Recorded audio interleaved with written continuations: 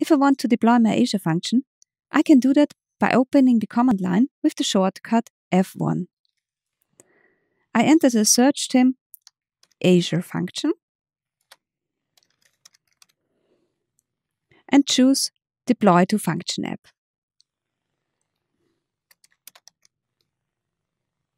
I am asked for the Azure subscription.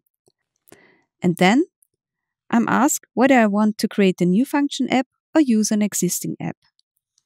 An Azure function is always only a function within a container. This container is the function app. The function app is used to combine different functions of a logical app. I decide to create a new function app. Now I have to enter a globally unique name. This name is not only globally unique within my environment, but really globally unique.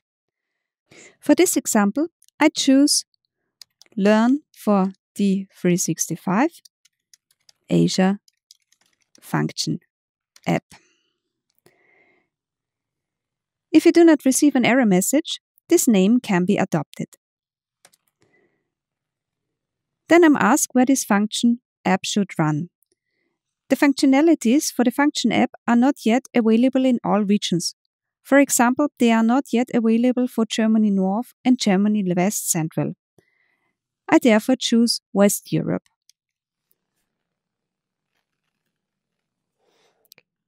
Now all relevant resources are created and then the deployment begins.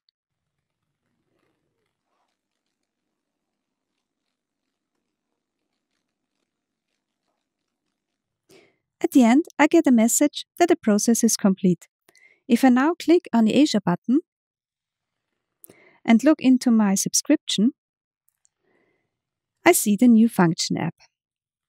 If I open the Function app tab, I find various other files and data within the Function app.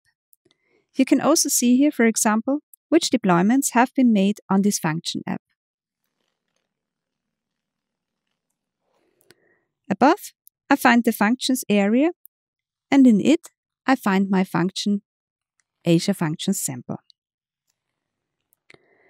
We have now learned how to deploy an Azure function from Visual Studio Code.